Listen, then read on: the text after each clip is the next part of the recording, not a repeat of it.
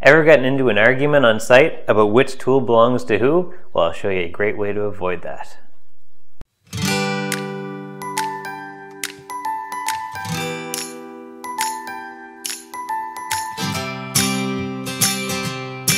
Hey guys, welcome to another episode of DP Shop Talk. Now today I'm going to be showing you a quick shop tip on how to engrave your tools in a way that's both permanent and very professional looking. Now, I don't know about you, but my handwriting is a mess, so to freehand engrave or even write on a tool, it just doesn't look neat and tidy. So I came across uh, a method a while back on the internet, I can't remember where I read it now, uh, but basically you use labels. So I've picked a font that I like and that works well with kind of the flow of, of the engraver and printed off three different size fonts uh, so it just depends on, on the size of the tool that you're uh, marking as to how much space you have. So I'll slice it and peel off just one label and then you just put it on the tool wherever works best, wherever you have a nice flat surface. And it's just a basic Dremel engraver that I use with, uh, with a standard engraving tip on it. Um, they're very inexpensive to buy and, and they work well. So I'll show you how that process works. So the engraver works just like a, a pencil or a pen would. Uh, so you just kind of grip it down close to the end there. And uh, so we'll turn it on and give it a whirl.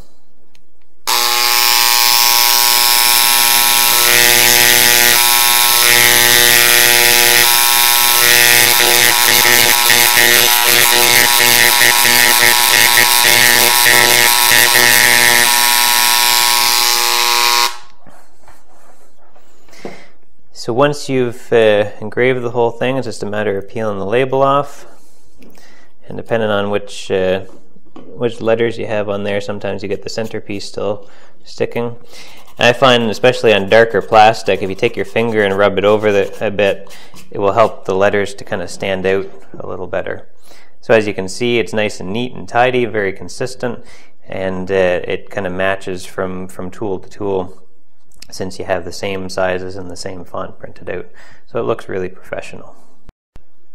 So as you can see, it's a pretty easy and quick process, and it really looks good.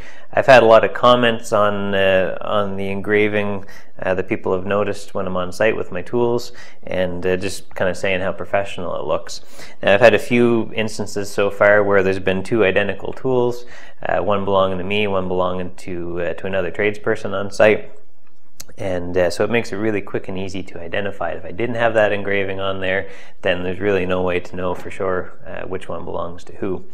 So it uh, is really effective uh, as well if, if uh, you happen to have a tool theft, then a little bit better chances of, of hopefully getting the tools recovered if you have your name marked on there permanently and hopefully maybe deter uh, somebody from stealing it in the first place. So I hope you found that tip helpful. If so, don't forget to like and subscribe and uh, leave some comments below. Thanks for watching, and we'll see you next time.